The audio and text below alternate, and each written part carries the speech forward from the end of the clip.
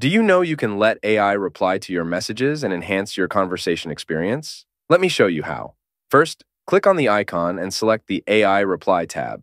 These are all the settings for AI Reply. From here, you can define how you want messages to be responded to, whether it's automatically or manually. Next, you need to connect to ChatGPT either by signing in or inserting an API key from your OpenAPI account. You can even choose your preferred AI model, such as GPT 3.5 or GPT 4. You can choose the default prompt or customize your own prompt to guide the AI replies. Once you are done with your settings, simply click Save.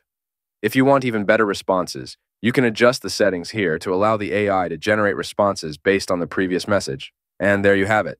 Watch as the AI responds seamlessly. Stay organized with this WA Send Plus AI WhatsApp Chrome extension. This tool also offers WhatsApp Bulk Sender, voice to text feature, AI chat reply, profile management tool,